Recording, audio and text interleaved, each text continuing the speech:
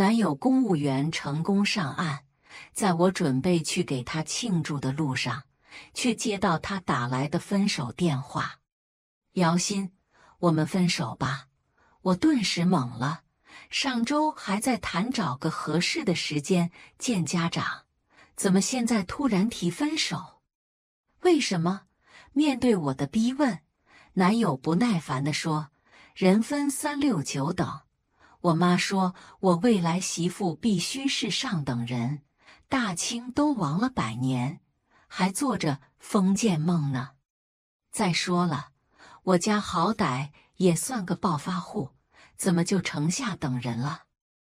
我都还没来及回怼，男友就毫不留情地挂断了电话。看来分手已成定局。望着手上的大红本，我默默地长叹了口气。现在送套房怎么就这么难？得知我被分手，闺蜜担心我受伤，拉着我去酒吧喝酒放松。我喝了不少。闺蜜安排了一个小鲜肉送我回家，刚走到门口，我脑袋一晃，不小心撞到别人。瞎呀，走路不长眼吗？熟悉的咒骂声让我猛地抬头。哟，这不是我刚分手的前男友吗？庄英俊认出我后，立刻将我刚才不小心撞到的女生护在身后。满脸警惕的看着我，姚鑫，跟踪我有意思吗？我们都分手了，你为什么还纠缠着我不放？我气得发笑，多大脸呀？觉得我在跟踪你，或许是闻到我身上的酒味。庄英俊看我的眼神越发的嫌弃，大晚上喝成这样，不知检点。我妈说的没错。你就是下等，我下等。那他身边的女生看着也喝了不少，他算什么？上等特权吗？真是可笑。这时被庄英俊护在身后的女生也探出头来，对我笑的那叫一个绿茶，掐着嗓子跟庄英俊撒娇：“俊哥，这就是你前女友吗？”难怪你急着分手，确实会拉低你的档次。女神发话，庄英俊立刻拥护。那是他哪能跟你比？你爸爸可不是普通人，从生下来那一刻开始，你们就注定不是一个等级。难怪庄英俊急着跟我分手，原来勾搭上白富美。不过这两人还真是王八看绿，豆贼对眼，什么锅配什么盖，天生一对。一口一个下等人，拉低档次的说我，真当我没脾气？我两步上前，快速的将几个巴掌抽打在庄英俊的脸上。我用尽了力气，庄英俊的侧脸顿时一片红肿。他身后的女生尖叫着要报警，庄英俊作势要冲上来打我。我淡定地站着，他要敢动手，我五年跆拳道黑带也不是白拿的，保证打得他满地找牙。庄英俊冲上前，我还没出手，身后突然伸出一只手拽住了庄英俊的手腕。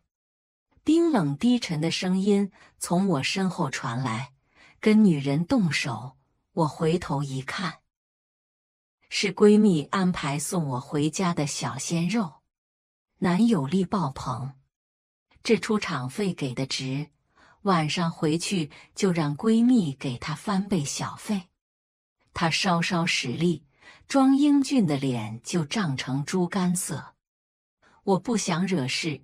示意小鲜肉放开庄英俊，庄英俊怂了，拿出手机威胁我要报警。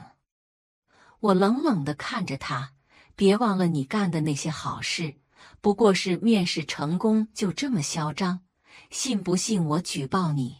庄英俊顿时哑了炮，眼神都慌了。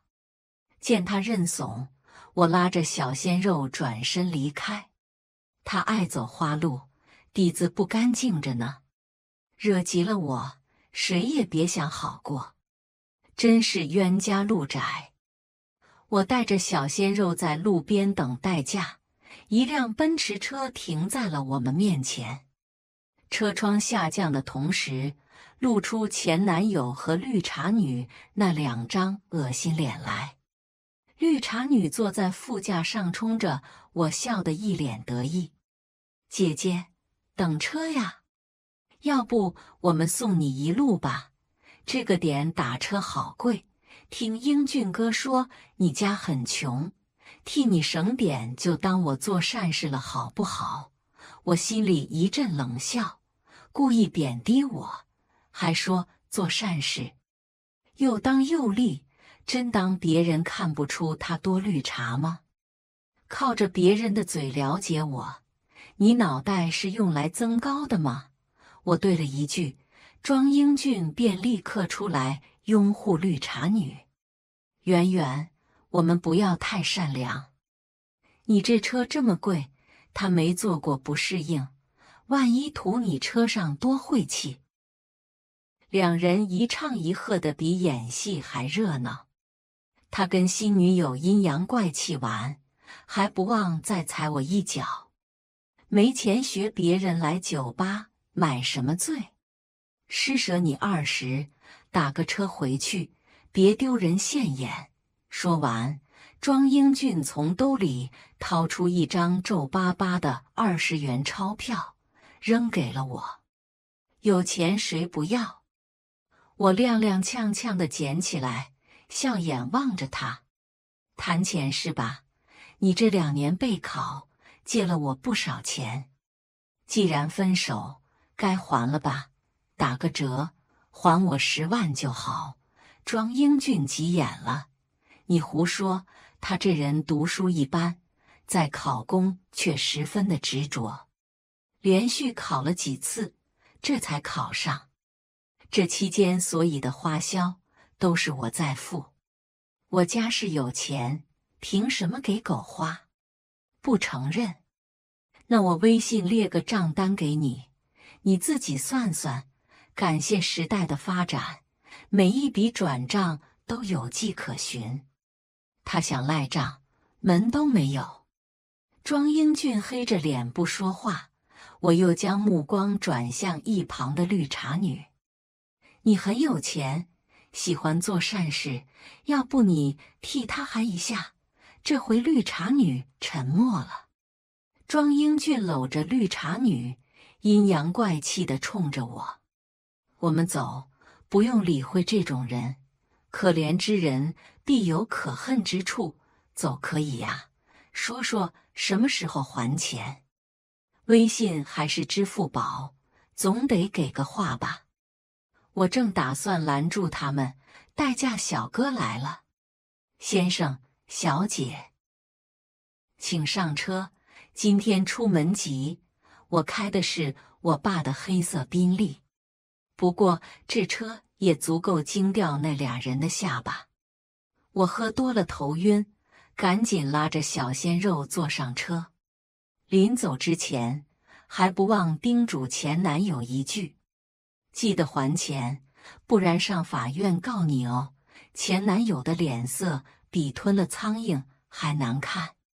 第二天我酒醒后，立刻联系了闺蜜，让她给昨晚的小鲜肉打个赏。你小脑袋还泡在酒罐子里吧？昨晚你根本没带人走呀。闺蜜的话让我蒙圈。既然我昨晚没带走人。那送我到家楼下的是谁？我只记得我当时离开，闺蜜说安排一个人护送我到家，我没拒绝，拉着站在我身边的男生就走。难道我拉错人了？尴尬的能用脚趾头抠出一座魔仙堡来。还好不熟，以后也没机会见面。挂了电话。恰好看到前男友发来的微信，姚鑫，真没想到你是这种拜金女。这男人都能当你爸了，被他包养，你下得去嘴？我点开他发给我的图片，仔细一看，他说的没错，可不就是我爸？我爸今天开的是我昨晚开的那辆宾利，庄英俊就误以为我被老男人包养，懒得理这渣男，果断拉黑删除，再见吧。我在我爸的公司实习，不过没有人知道公司老板就是我爸。刚到公司没多久，就听到门口传来几声嘈杂的叫嚷：“姚鑫呢？姚鑫是不是在你们公司上班？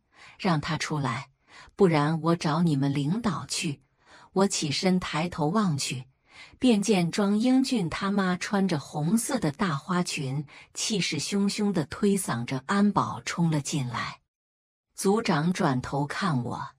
姚鑫，去处理下。我尴尬的点了点头，走到他妈面前。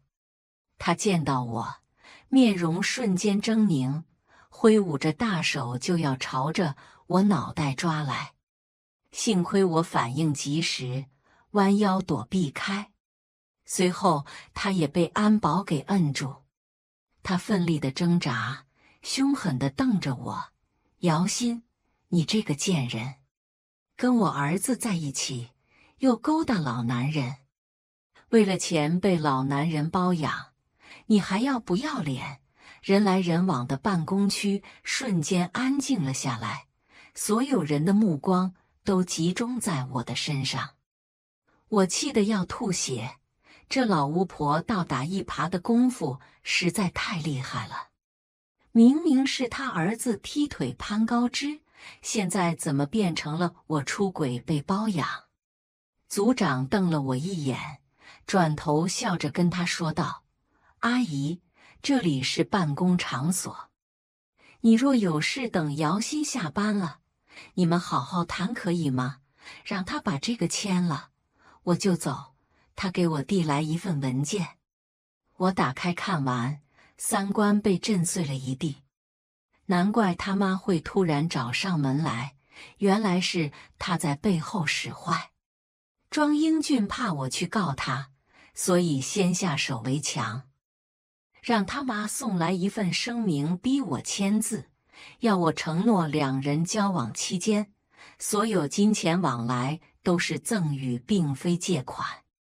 若是我毁约，还要赔偿他一百万，无耻至极。这种下三滥手段，他也好意思用？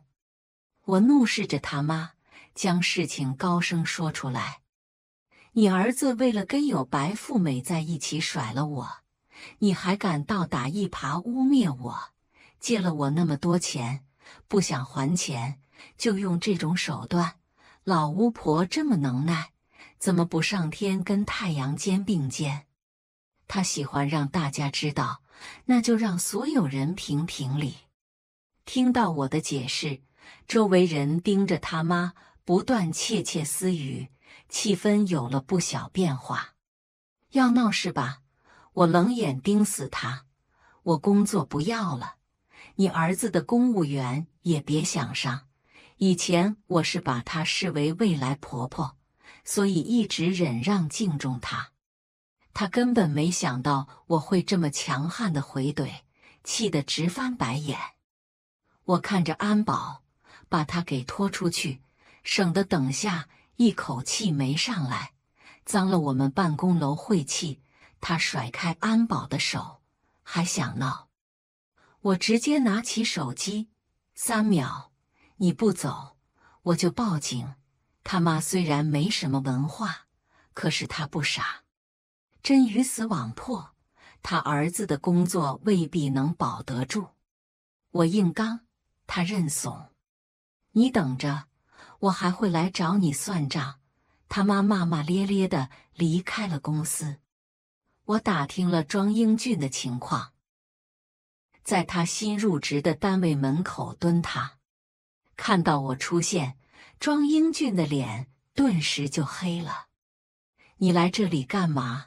我冷冷一笑：“你妈找我麻烦，你也别想好过。”庄英俊的脸瞬间变得狰狞，戾气的眼神让我内心有一丝不祥的预感。他一把拽住我的手，将我往一旁的小巷扯去。进了小巷之后，他将他的手机扔给了我，自己看看你那贱样。看清手机上图片的那一刻，我惊得瞳孔都地震了。这个无赖！这个人渣，他居然趁着我去洗手间偷拍我。虽然我们交往许久，可我爸给我下了死命令：没有结婚前绝对不能越轨。我们一直保持着距离，可我万万没想到庄英俊会如此卑鄙，拍下我换衣服的照片，气得我想砸手机。砸吧！反正我电脑里有的是备份。身后传来庄英俊阴险得意的声音：“从未见过如此厚颜无耻的人！我当初到底是怎样瞎了眼，才没看穿他的人面兽心？你想怎样？”庄英俊挑眉看着我：“你签了那份声明，再赔我十万的青春损失费。”青春损失费，还有青春，他都立秋了吧？他怎么好意思提出这样的条件？人不要脸则无敌吗？有钱我扔水里听个响，也不要给渣男。青春损失费十万是吧？我给你，让你见识一下我跆拳道黑带的厉害。我猛地拽起庄英俊的胳膊。借着肩膀的力量，狠狠来了一个过肩摔。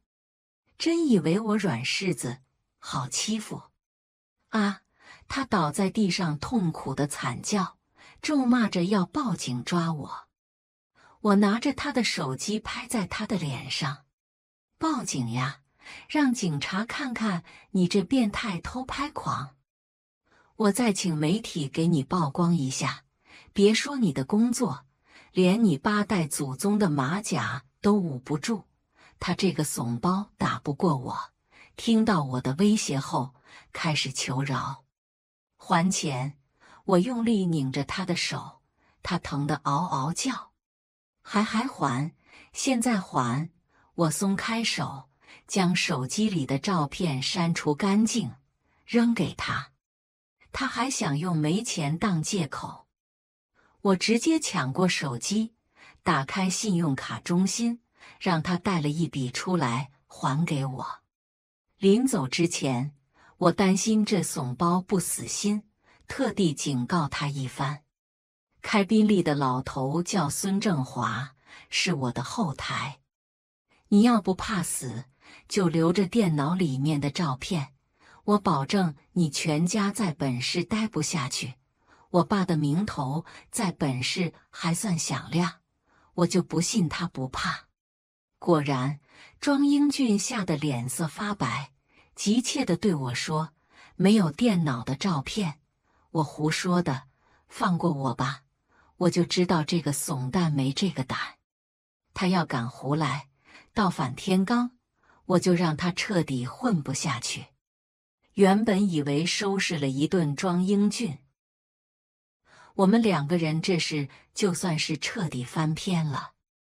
可是第二天，我就接到了闺蜜张岩打来的电话。电话那头，张岩的声音十分急切：“欣欣，你是不是被庄英俊拉黑了朋友圈？”他焦急的语气让我心头有些不祥的预感。我跟庄英俊分手后，我便删了他的微信。看不到他的朋友圈，我把他删了。朋友圈是什么情况？张岩满腔怒火，我就知道那畜生绝对是仗着你看不到他朋友圈，才敢这么明目张胆的黑。我截图发你微信，你看看怎么办？要收拾那畜生，你放话，我立马来帮你。张岩跟我多年的好友，他脾气火爆。我担心他出事，连忙将人安抚下来。别冲动，等我看完再说。挂了电话，我便收到了张岩发来的朋友圈截图，一共有三张照片，还配了一大段的文字。他在朋友圈含沙射影，说是因为发现我人品不好，所以才跟我分手。他还说我这人拜金，一切只看钱。跟他在一起的时候，便不断的索要礼物，最后分手后，还以各种理由威胁他，从他这里骗走了十万块钱。在结尾，他还安排了几个绿帽的表情，暗示自己被绿。第一张照片便是他还我十万转账记录，第二张照片则是我跟小鲜肉坐上我爸宾利车。看样子应该是行车记录仪上截图下来的照片，他特意模糊了小鲜肉的脸，将我的脸放大。第三张照片则是他之前发给我的那张照片，我爸宾利车上下来的画面。这些照片再配上言辞凿凿的文字，不知情的人还真以为我是劈腿女郎。被老男人包养的小三呢？张岩比我还要生气，电话才挂没多久，又打了过来。欣欣，这渣男实在太过分了，我们绝对不能放过他。明明是他提的分手，他怎么好意思污蔑你？要不我们公开你和你爸的关系，好好打一打他的脸。我跟我妈姓。身边除了从小玩到大的那些好朋友，没多少人知道我是孙正华的女儿。妍妍子，我都没气，你气什么？不用我爸出场，我自己就能收拾了这小瘪三。既然庄英俊不想就此翻篇，那我就顺了他的意，陪他好好玩一玩。张岩兴奋地问道：“姐妹。”准备怎么复仇？快告诉我！我冷冷一笑：“你就等着看好戏吧。有钱能使鬼推磨，偏偏我有的是钱。我花钱请了人，用了不到半天的时间，便调查到了庄英俊现在女友圆圆所有的资料。果然不出我所料，这两人不干净着呢。”早在半年前，两人就在辅导班上认识。圆圆每天开着奔驰去上课，庄英俊便以为他是个有钱人，便不断追求她。两人很快便勾搭在一起。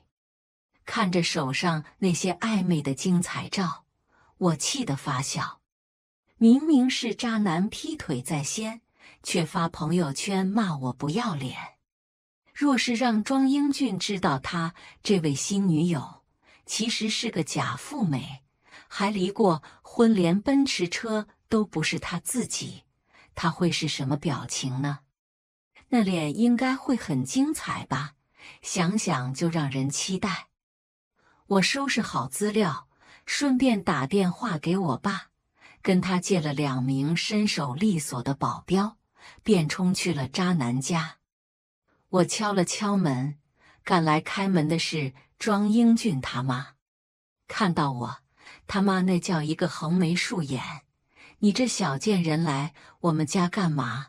我们英俊早就跟你分手了，就算你倒贴，我儿子也不会看你一眼，贴你个大头鬼！”我一把将他推开，他踉跄的往后退，脚下没站稳。直接狼狈地摔在地上，他开始哀嚎，声音如同杀猪一般大：“打人了，要打死人了！”庄英俊闻声急匆匆地赶来，他妈立刻告状说：“我要杀人。”庄英俊扶着他妈，怒气冲冲地看着我：“姚鑫，你敢动我妈，我跟你拼了！”他做事要冲过来。人都没到我跟前，就被我爸那两名气场强大的保镖给拦住。他不敢动手，只敢怒气冲冲地对我吼：“姚鑫，你到底想干嘛？”我冷眼睨着他。就凭你朋友圈发的那些消息，你觉得我想干嘛？仿佛心虚一般，他气场弱了不少，说话的声音都小了。我说的也是事实，有什么不对？我直接打开资料，砸在他脸上。睁大你的狗眼，好好看看，这些是什么？劈腿，还敢诽谤我？看到如雪花一般。洒落的亲密照，庄英俊傻眼了，转头就开始跟我求饶。欣欣，这都是误会，我现在就删朋友圈，马上删。看他掏手机，我却冷笑了一声。现在删，晚了。诽谤我是可以告你的，你朋友圈就是最好的证据，每个看到这条朋友圈的都是证人。这些懂吧？庄英俊的脸顿时煞白，毫无血色，紧张的说话都大舌头。别，千万别告我！你要怎样都可以，求你了。刚才还嚣张的他妈，现在听到儿子要被人告，连忙跟着儿子一起求我。好姑娘，都是误会，你可千万别告我儿子。求求你了！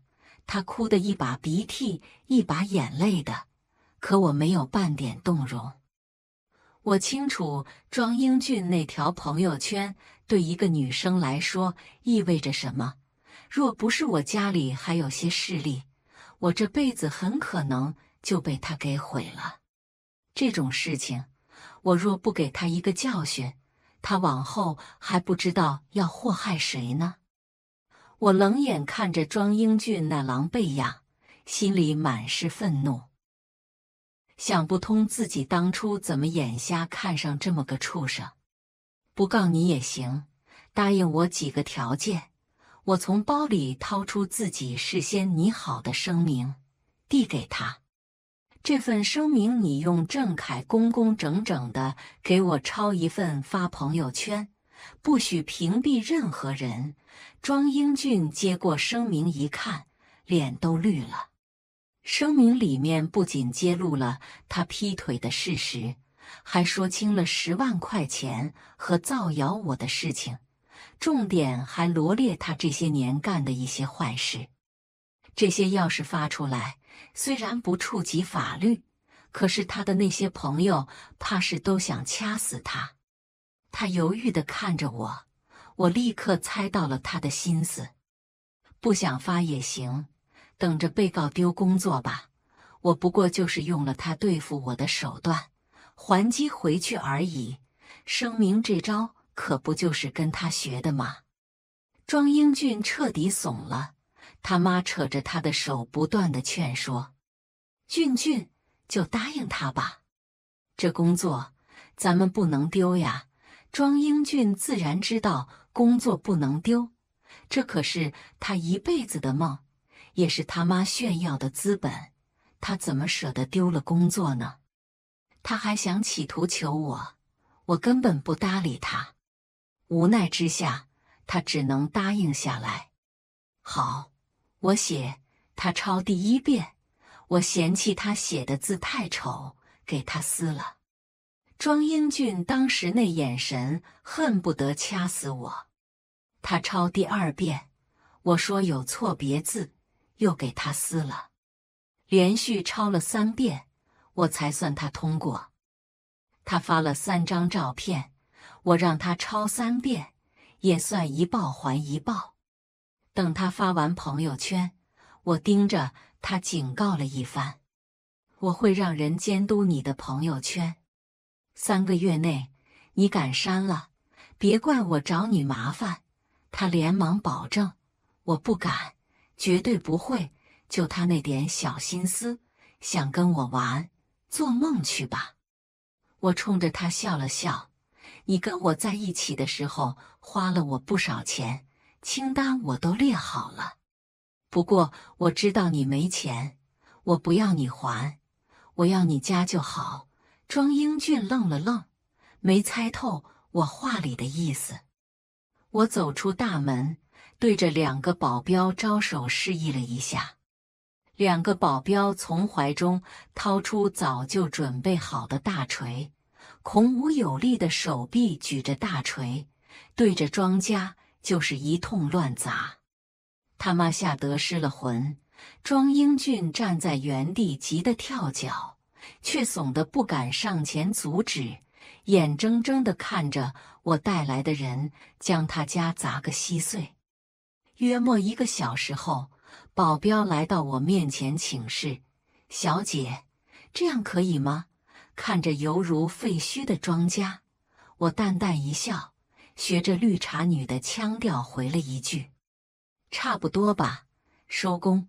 我这人善良，喜欢做善事，剩下的就当送你们不收了。说完，我戴上墨镜，带着保镖帅气的离开了现场。第二天，我跟张岩分享了过程，张岩笑得前俯后仰，直夸我太优秀。他还给我分享了一个新消息，因为朋友圈爆料的事情。庄英俊不仅被身边的朋友拉黑了，还被人冲上门揍了一顿。渣男也算是遭到报应了。只要他不惹我，我就放他一马，以后就当不认识。刚挂了闺蜜电话，我爸的电话就来了。他知道了分手的事情，逼着我去相亲，敢不去？明天就让你回来继承公司，说好给我三年自由。这老头言而无信，我暴怒之下，穿了一套破旧的衣服，素面朝天的冲去了相亲点。刚进包间，抬眸的瞬间，我傻眼了。怎么是你？相亲遇到前两天酒吧带走的小鲜肉，怎么办？在线等，很急。他看着我，点了点前方的空位，坐下聊。我慢吞吞地走到他对面坐下。我爸不是说世伯的孩子？难道这位世伯家道中落？还是我爸不知道他在酒吧工作？你认识我爸？不认识。我刚松一口气，以为找错包间，又听他说道。不过，我爸认识这人，说话怎么瞎断句？这要是一口气没上来，不得憋屈死。所以你也是被你爸逼着来相亲的。从他的表情里，我能猜出一个大概。果然，我说完他就点头了。认识一下，我叫江逸晨，名字不错，跟他人一样帅，是我喜欢的款。谈恋爱吧，别人我不放心。我突如其来的告白，将江逸晨下得手上的水都洒了。我连忙扯了几张纸巾递上去。我有什么缺点，你尽管说，我放大给你看。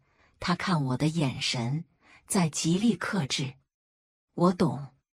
今天若是相亲不成功，依照我爸那性格，一定会再逼我。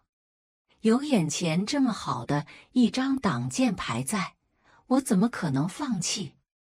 我花了半个小时，从古论今将他彻底洗脑一遍，最后做出总结：答应我，你稳赚不赔，大不了你以后有心仪对象，我帮你追；实在不行，我用钱砸。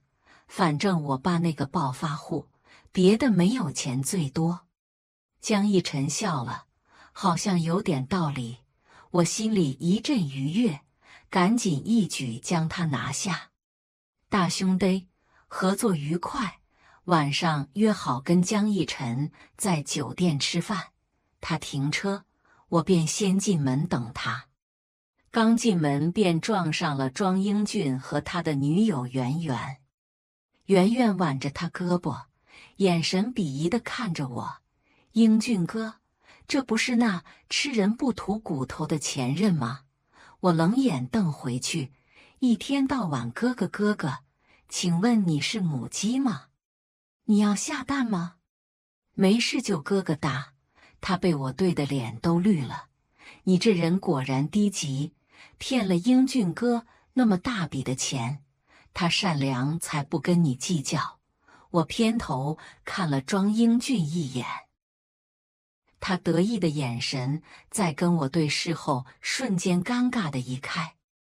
这渣男可以呀，朋友圈都发了声明，还能哄得女朋友团团转。骗！我看着圆圆笑出声来，你真可爱。我感觉任何人工智能都抵不过你这款天然呆。庄英俊似乎怕我说出更多，急着要拉女友走。圆圆，我们不要理会这种低等人。他女友倒是不愿意了。英俊哥，我们怕他干嘛？我哥哥马上就来，他非常厉害。我让他给你做主，像是找到人撑腰一样。庄英俊的态度瞬间牛气了不少。姚鑫，你听见了？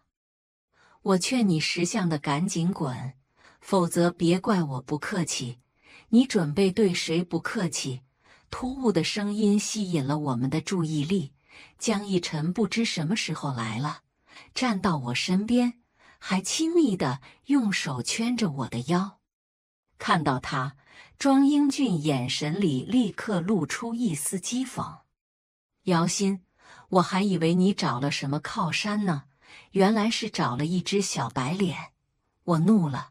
虽然江逸晨是长得白嫩了点，可也轮不到庄英俊在这里贬低他。还没等我回击，一中年男子挺着硕大的啤酒肚走到我们面前。圆圆立刻甩开庄英俊，得意地拉着他，指着我和江逸晨：“哥，这女的是诈骗犯，骗了我男友好多钱。这男的在一些不三不四的店工作，底子一定不干净。你快点把他们都抓起来！”他哥原本还一脸牛气，可在见到我身边的江逸晨后。脸色立刻起了变化，腰都不自觉地弯了几寸。江主任，您怎么在这？我身侧的江逸晨冷笑了一声：“李涛，你妹妹说我们的单位是不三不四的店。”豆大的汗珠从他哥的额头滑落，他哥弯着腰连忙道歉：“误会，这都是误会。”英俊，江主任。可不仅是我上司，更是你上司的顶头上司，还不快喊领导好！这话让庄英俊他们惊得眼珠子差点掉出来。别说他们，我都蒙圈了，一时间插不上话。江逸晨似乎看穿我的心思，解释了一句：“我那天只是帮朋友送个东西过去，平日里不会去那些场合。”看来是我误会他了，这下尴尬了。见庄英俊还没动，他哥急了，猛踹了他一脚。庄英俊这才反应过来，点头哈腰，笑着喊道：“领导好！”看着他那狼狈没有骨气的模样，我顿时觉得无趣，挽着江逸晨的胳膊拉着他要走。庄英俊却不知死活的，还想闹事。他突然开口：“江主任，你知道你身边这女人有多拜金吗？你可别被她给骗了。”我盯着他：“你这疯狗又发什么疯？狂犬病犯了就去治。”他目光狰狞的看着我，怕被我拆穿，急着赶我走。他急切地拦着江逸晨，他被老男人包养。我上周还看到他从老男人的家里出来，开着老男人的豪车。他故意说得很大声，让周围人都关注过来。这是证据。他把手机递给了江逸晨。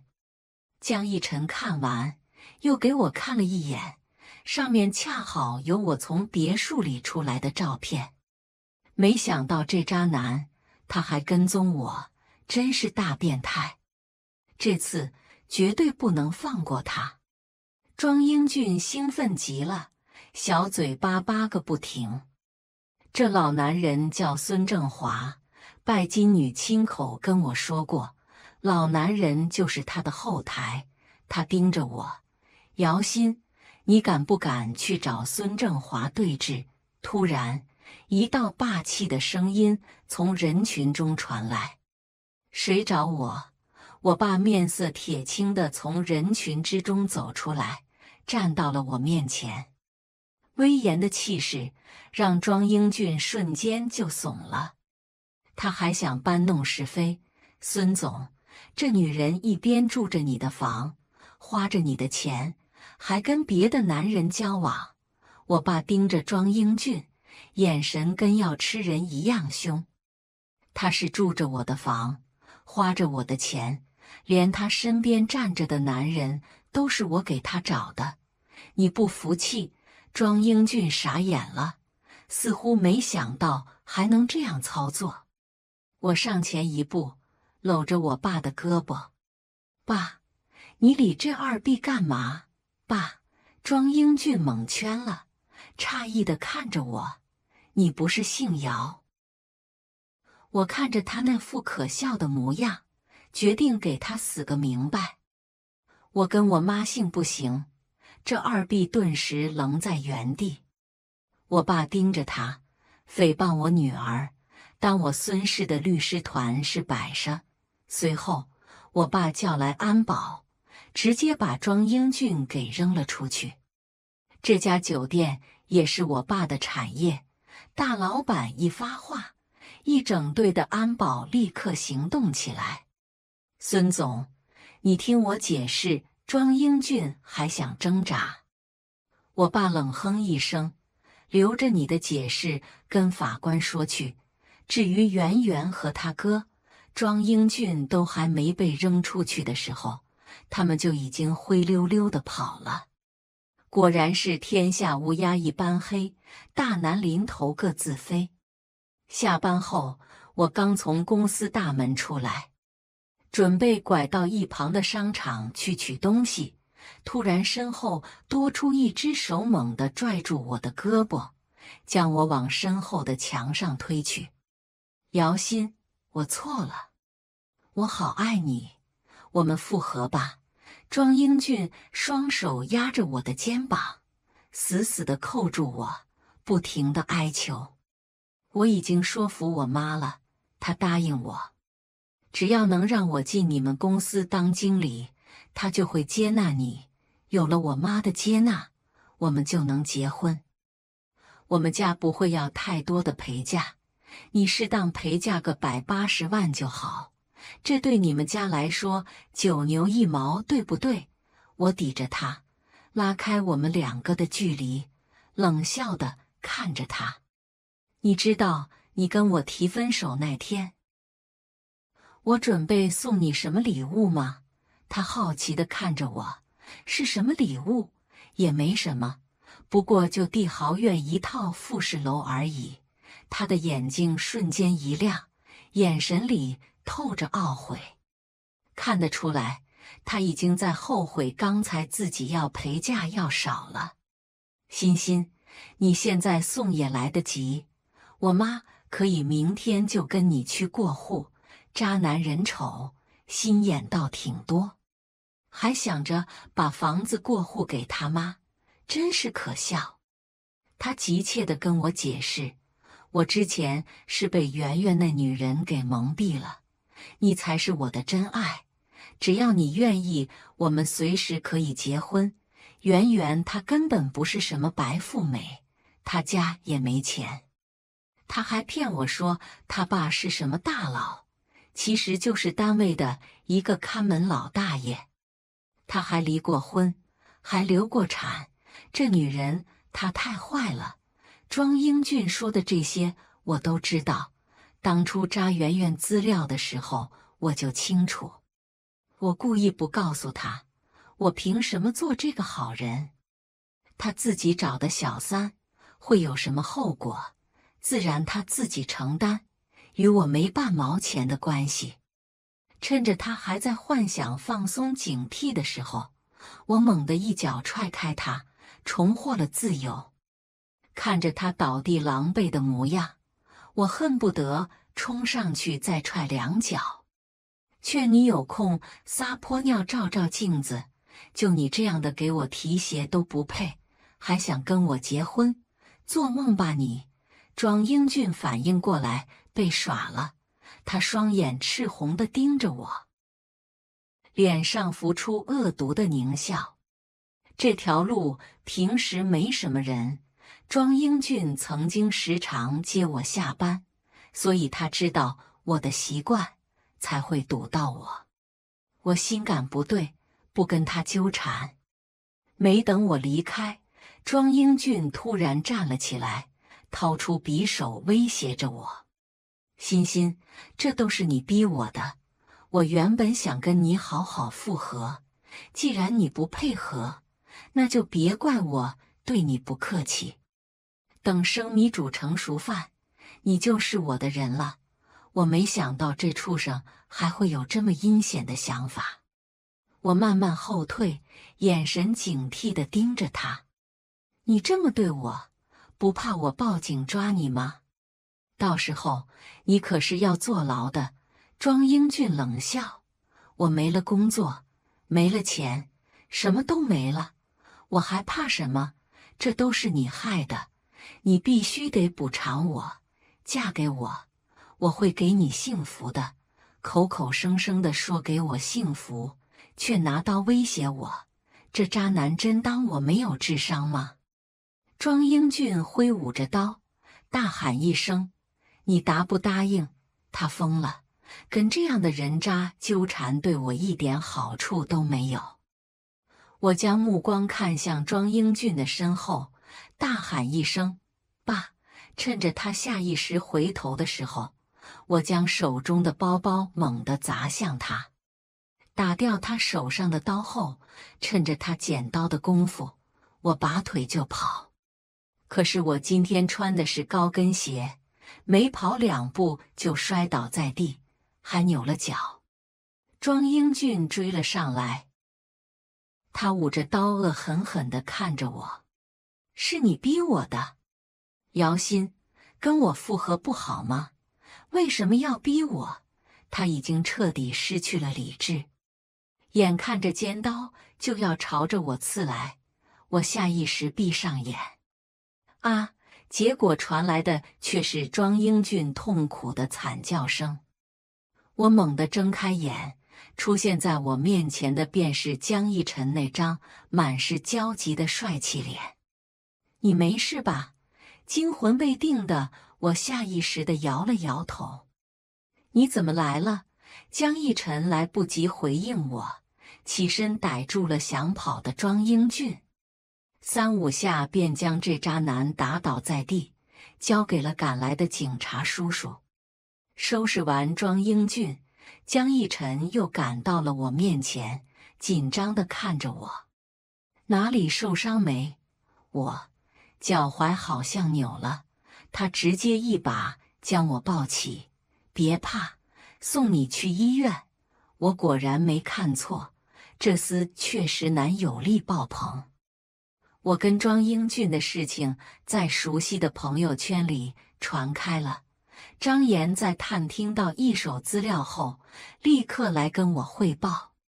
庄英俊被从酒店扔出去那天。圆圆就跟他提了分手，庄英俊不肯答应。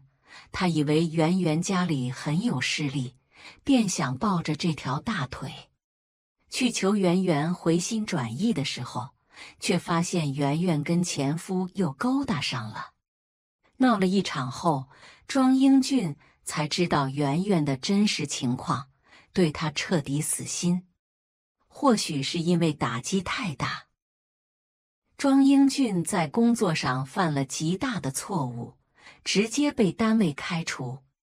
走投无路的庄英俊把我当成了翻身的资本，他甚至在朋友圈里吹牛说他是我爸公司的乘龙快婿，很快就能成为顶级富豪，让朋友多巴结着他一点。那群狐朋狗友嘲笑他癞蛤蟆想吃天鹅肉，根本不可能挽回我。被激怒后发了疯的庄英俊便带着刀来找我，最后把自己送进了监狱。等着他的是法庭的审判，还有冰冷的铁窗。听完张岩的叙述，我对他笑着说道：“以后他的消息不用告诉我，毕竟人狗殊途。”三个月后，法院的判决书下来，在我爸给力的律师团辩护下，庄英俊最后被判了一年的有期徒刑。他这辈子。算是彻底完了。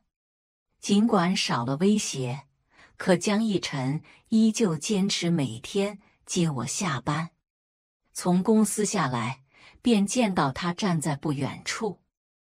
我靠近的瞬间，他仿佛有感应一般，立刻抬起头看向我。想好晚上去哪家吃饭了吗？我说：“买点菜去我家做饭吧。”他明显愣了一下，似乎没想到我会这么提议。他笑着说：“算了，弄乱了你家不好。”我痞笑着他：“别跟我客气，早晚都是一个户口本的人，这层纸我早就想捅破了。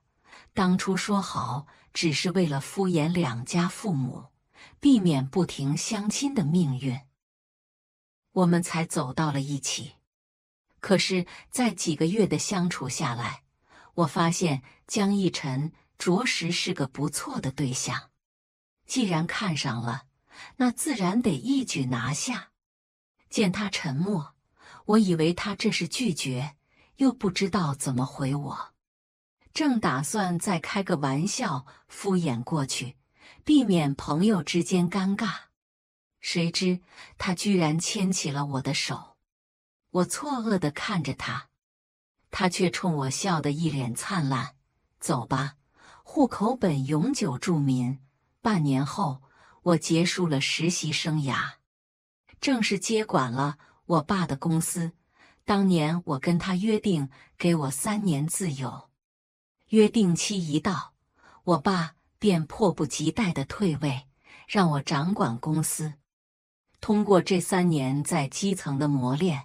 我已经熟悉整个公司的运作，接管的非常的顺利。在双方父母的催促下，我跟江逸晨决定结婚。跟他在一起的这半年里，我过得非常的开心。工作上的烦恼能跟他分享，生活里的情趣也能跟他分享。尽管他的话不多，却总能用他独到的见解。替我开阔视野。江逸晨跟我求婚成功的那天晚上，我爸有些伤感，或许是想到要嫁女儿吧。